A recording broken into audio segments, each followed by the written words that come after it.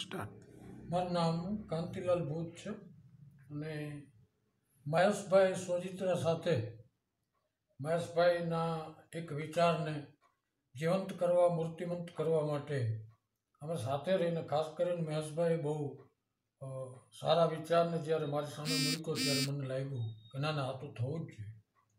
અને એ અંગે એક પુસ્તક અમે પ્રકાશિત કર્યું છે. અને એ પુસ્તકનું નામ છે સંસ્કારનું ઝરણું. એમાં દીકરી અને ગાય વિશેની વાત છે. એની ગાથા છે દીકરીની, ગાયની ગાથા છે અને વ્યથા પણ છે.